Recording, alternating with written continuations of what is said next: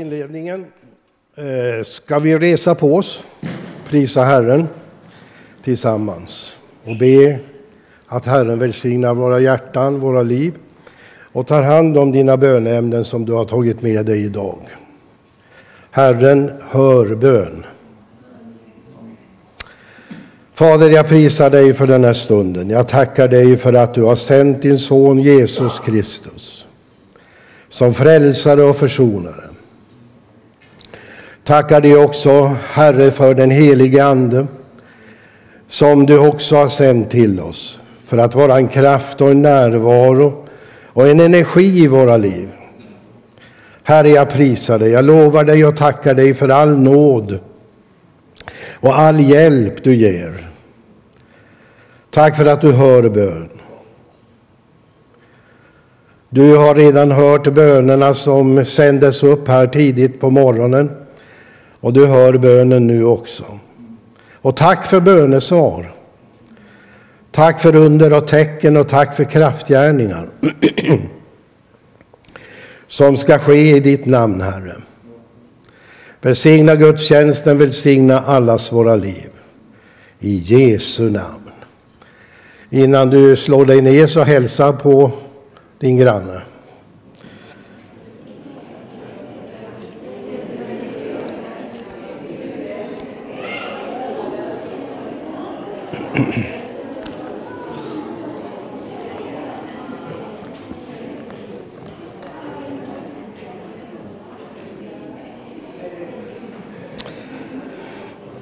Okej, då slår vi upp våra biblar till Andra Timoteusbrevet, det tredje kapitlet och från versen 10 till och med 17.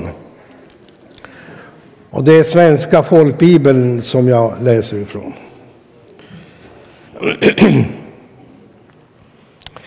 Men du har följt mig i lära och liv, i föresats och tro, i tålamod, kärlek och uthållighet.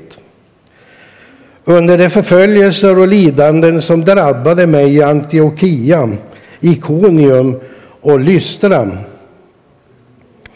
Eh, vilka förföljelser har jag inte fått utstå, men ur alla har Herren räddat mig. Så kommer också alla som vill leva gudfruktigt i Kristus Jesus att förföljas. Men onda människor och bedragare ska göra framsteg till det sämre. De bedrar och blir själva bedragna. Men håll fast vid det som du har lärt dig och blivit överbevisad om. Du vet vilka du har lärt dig. Och du känner från barndomen de heliga skrifterna som kan göra dig vis så att du blir frälst genom tron i Kristus Jesus. Hela skriften är utandan av Gud och nyttig till undervisning, till bestraffning, till upprättelse och till fostran i rättfärdighet. För att en gudsman ska bli fullt för färdig, väl rustad för varje god gärning. Eh, det här är ju, vad ska jag säga, den lärjunge som stod närmast Paulus. Ja, och eh, det handlar mycket om lärjungaskap och, Eh, och efterföljelse. Och vi behöver alla föredömen. Timoteus hade Paulus som föredöme. Och det var väldigt viktigt för den gamle, alltså den första av, eh, eller inte riktigt en av de första, men han var i alla fall den tolfte kan man säga, för att Judas föll bort. Eh, men kom då senare än de, än de elva. Eh, så han räknas ju till den tolfte aposteln, Paulus. Han kommer ju lite efteråt, de första lärjungarna. Men han fick möta Gud väldigt starkt, mäktigt, där på Damaskusvägen. Han var på väg för att förfölja de första kristna. Eh, och han var inte trevlig. Han, han uppträdde som en av de värre eh, förföljarna faktiskt. Han gillade att man stenade ihjäl folk. det är en likhet i, i de här grupperna som vi har i vår värld. Så illa var det med, med Paulus. Men han trodde att eh, han gjorde rätt därför att han trodde på hela Gamla testamentets skrifter. Men hade missat det väsentligaste och det var Jesus skulle komma till den här världen. Han kunde tradera eh, hela Gamla testamentet. Det innebär att han kunde eh, läsa till hela Bibeln som tolvåring. Men ändå hade han missat det väsentliga under hela den här tiden. Han hade inte sett försonaren i skriften. Men här möter han försonaren på Damaskusvägen och han slås till marken av ljuset, av närvaron och han får uppleva en gudomlig kallelse som är en av de största i historien. Och så börjar han sin apostlagärning. Men han var noggrann med att hans efterföljare och eh, medarbetare skulle följa också läran. Och det berodde på att han, han kände en stor brist själv i att han hade missat det väsentligaste under sin ungdom. Trots att han kunde Bibeln utan tid. Så därför var det viktigt att vara lärjunge och att följa skriftens ord. Och här talar han om, om mörkret i tiden. Det var mörkt på den tiden också, inte bara i, i skiftningarna från vår, eh, sommar, höst och vinter. Utan det var mycket mörkt i tiden då också som det är nu. Men det intressanta vi gör, åtminstone i Sverige och i de kristna länderna, det är att vi kompenserar hela tiden mörkret med ljus. Har ni tänkt på det? Jag har en granne eh, som bodde eh, i ett hus. Vi har ju sålt vårt hus nu och flyttat till en lägenhet. Men det var ett, mm, ett muslimpar som köpte ett hus lite längre bort. Eh, och Eh, väldigt fina människor, inget fel på dem alltså. Men man ser hur olika det är, hur man tänker på, på just det här, det mörka i tiden. Eller i, i vad ska jag säga, årsskiftningen. Så vi alla andra, vi hade ljus överallt, nästan för mycket ljus tände vi ju så vi förstör en massa ström. Men där var det kolsvart alltså. Det fanns inget ljus. Man till och med drog för eh, persiennerna. Av, jag vet inte om man inte ville se det här ljuset. Men, men det är så olika hur vi, hur vi gör när vi ska kompensera mörker. Va? Jag tyckte det var väldigt fel att kompensera på det sättet, att stänga ute mörkret. Man, man gör något åt mörkret. Va? Vi förbannar inte mörkret, vi tänder ljus istället. Eller hur?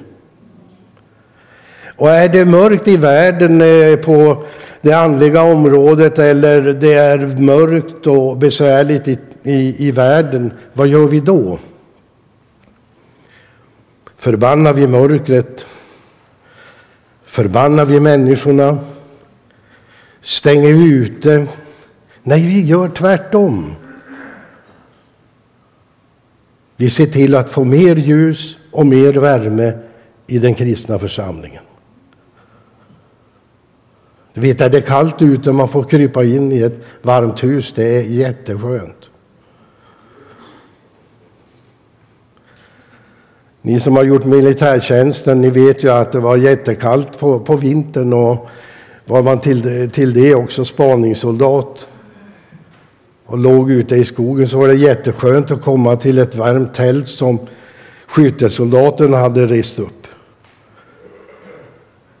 Men eh, så, så är det. Man, man, eh, man eh, gör allt för att kompensera. Och eh, hemma i byn där vet jag att gubbarna de kompenserar på alla sätt och vis. Värmen det var viktigt och där var veden helig. du vet ju. Eh, det fick ju, man fick ju inte låna från vedtravar. Man kunde få låna pengar men aldrig ved, va? för det var, det var heliga ting. Därför att man hade jobbat så mycket för att ta ner veden, torka den, klyva den och lägga upp den. Eller kasta in den i vedhuset. Men gubbarna var förberedda på sträng vinter. Det var inte så att man kom, kom på att nu ska jag tända och fixa ved när det var 35 minusgrader. Och vi är förberedda också för kalla vintrar, andliga kalla vintrar som världen kommer att gå igenom nu. Det blir inte ljusare i världen utan tvärtom mörkare. Men vi kan kompensera det. Vi är de enda som kan kompensera sånt.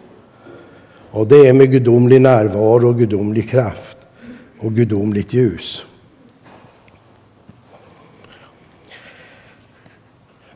Han säger här, du har följt mig i lära, liv, i föresats och tro, i tålamod, kärlek och uthållighet.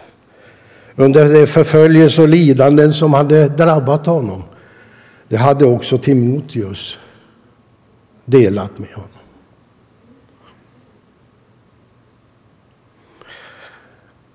Det är dags för oss att förbereda oss för mycket värme, mycket ljus, mycket närvaro, mycket hjälp ifrån Gud. Han sviker ingen. Han har inte sagt att när det blir mörkare och mörkare i tiden och världen, då ska jag överge er mer och mer. Då ska jag dra mig tillbaka och lämna er. Utan tvärtom, då ska han vara med oss ännu mer och hjälpa oss. Jag har upplevt den senaste tiden en väldigt, väldig öppenhet hos eh, både grannar och, och eh, människor jag möter på olika sätt. Eh, jag tar ju uppdrag för frivården, kriminalvården och har just nu sju klienter som jag tar hand om och är övervakare för. Men jag har aldrig upplevt sån öppenhet från själva uppdragsgivaren som eh, liksom är så glada att jag finns. En pastor som ställer upp. Som, eh, som vill vara med och hjälpa de här Eh, människorna som har det svårt. Stödja dem, inte bara vara en övervakare utan att stödja dem. Dessa olycksmänniskor.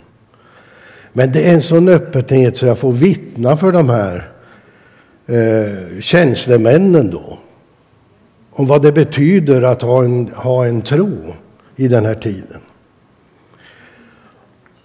Och de jag eh, betjänar med klienterna, de är väldigt öppna. De är så tacksamma att någon vill be för dem. Och, och tro att det kan bli en förändring. Och överallt där jag befinner mig så är det en öppenhet. Vi har världens tillfälle nu att evangelisera och vara ljus i en mörk värld. Va? Och Bibeln säger ju faktiskt att vi, vi är ett ljus. Vi är ett salt i världen. och i och med det så kan vi påverka. Ljuset kan påverka mörkret. Men om vi släcker ner, ja då, då råder mörkret. Men tänder vi lamporna, då råder ljuset. Så var frimodig i din kallelse, i din uppgift. Eh, det är likadant idag att vi är efterföljare, vi är lärjungar och vi har ett föredöme i Bibeln som vi följer och som vi tror på.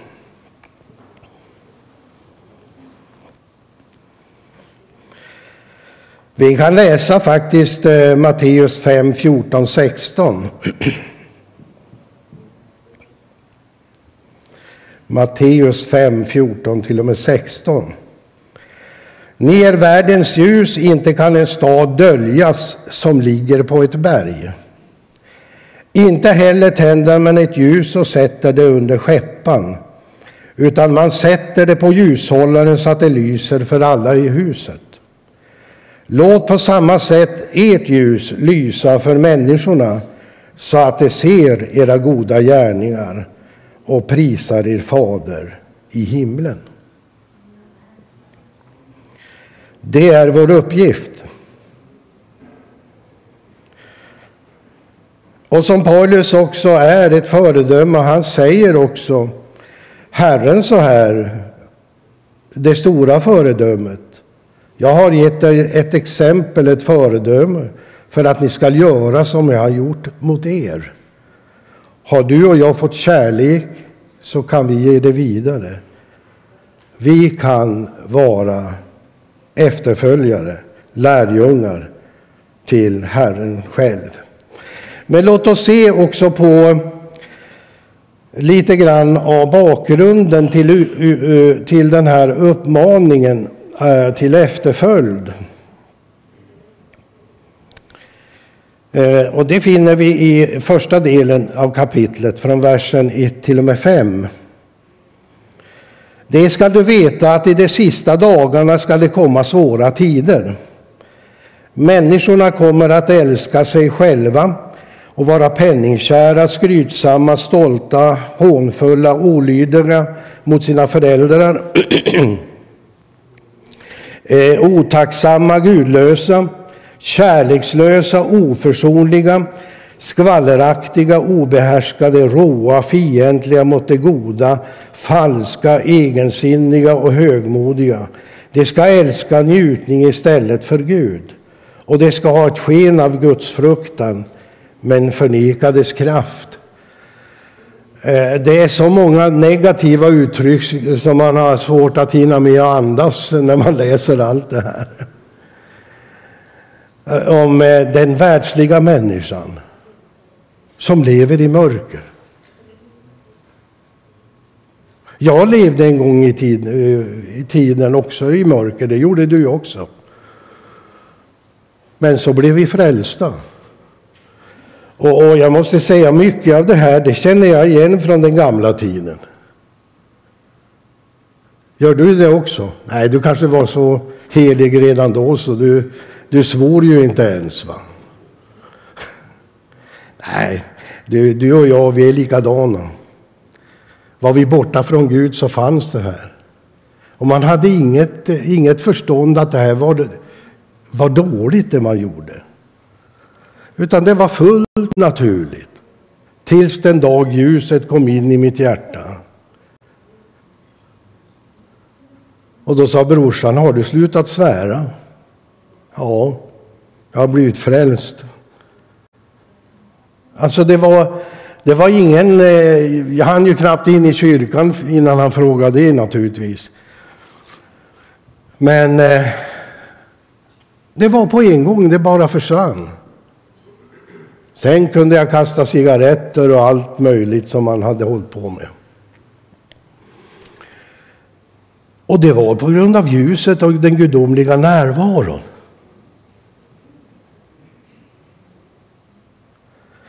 Men vi förbannar därför inte människor som lever i mörker. Vi tänder ett ljus för dem.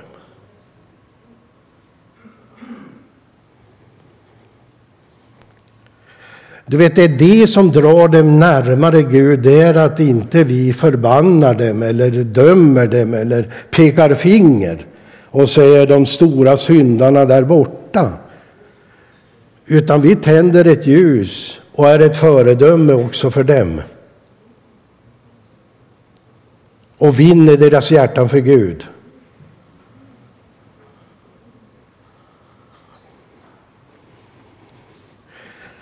Och när de frågar vad är synd, då ska du säga så här, den största synden det är att vi är skild ifrån Gud. Det räcker.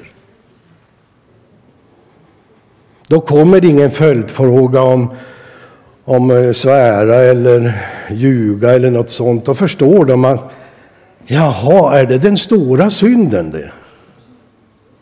Att jag inte har gemenskap med Gud? Ja, så är det. Då blir det mycket lättare för dig att förklara sen då vad det betyder att Gud då hjälper en att få bort de negativa uttrycken och livet genom gudomlig kraft. Det här beskriver en av människotyperna som finns på jorden och har funnits. Det är att man lever i den världsliga delen och man lever i mörker. Sen finns det en andra typ av människa och det är den religiösa människan.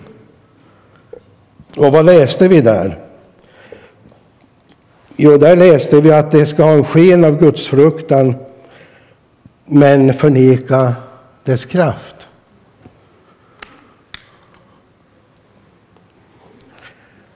Vad betyder det, vad Paulus säger här? Jo, det betyder att man, man har egentligen alla uttryck för att vara eh, kanske troende eller religiös på olika sätt. Jag, jag nämner ju också andra religioner naturligtvis. Men man saknar något som jag har beskrivit här innan och det är gudomlig närvaro. Man är inte förändrad inifrån.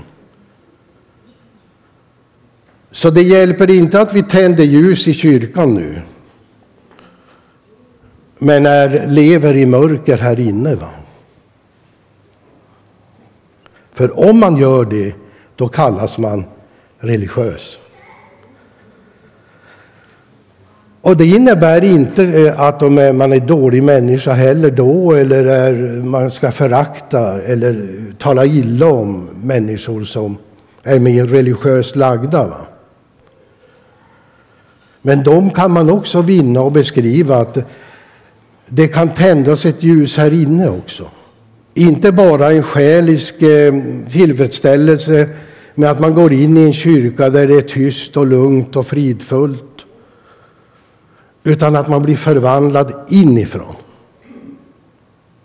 Med Guds hjälp. Det är därför Jesus säger att den som ska se Gud och komma till Gud, han ska födas på nytt. Va? Alltså man får ett andligt liv. Och sen då, vad har vi då den tredje då? Ja, det är vi som jag talar om nu. Det är Timoteus. Det är den kristna församlingen som är fylld av Gud, som vet vad det innebär att vandra i gudomlig närvaro och kraft. Som inte förnekar den här kraften. Som säger, jag behöver inte Gud jag behöver inte Guds närvaro. Jag kan tända ljus och jag kan till och med be en bön och läsa lite bibel. Men man har inte kraften inom sig som är gudomlig.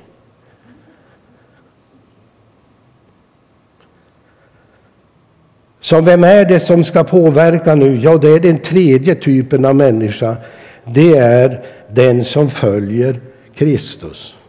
Han säger till Timoteus när han har tagit upp denna mörka delen till inledning hur människor kommer att vara i den yttersta tiden. Då säger han så här till Timoteus, men du lever inte så. Du har ett helt annat uttryck. Du är en, en förvandlad människa som följer gudomliga regler och lagar som är bibliska och som är formade av Jesus Kristus. Så eh, det är viktigt att vi har ett riktigt ljus. Inte något mänskligt, utan ett gudomligt ljus. Men du, säger han till Timoteus flera gånger, du har följt mig i lära och liv, i föresats och tro. Och så säger han så här också, men du Timoteus är inte som de andra två, ditt liv är förvandlat. Men du Timoteus har ett ansvar att föra läran, Guds budskap, vidare. Du Timoteus kan påverka med Guds kraft din omgivning. Där det just nu är mörkt, där det just nu är kallt. Där kan du Timoteus med den verkliga gudomliga kraften förändra och förvandla. Där finns också vi. Du är med i denna, detta påstående. Vi kan förändra med Guds hjälp. Så var ljus i en mörk tid nu. Och, och tro på Guds närvaro, tro på Guds förmåga att hjälpa dig igenom med sin kraft. Gud välsigne dig.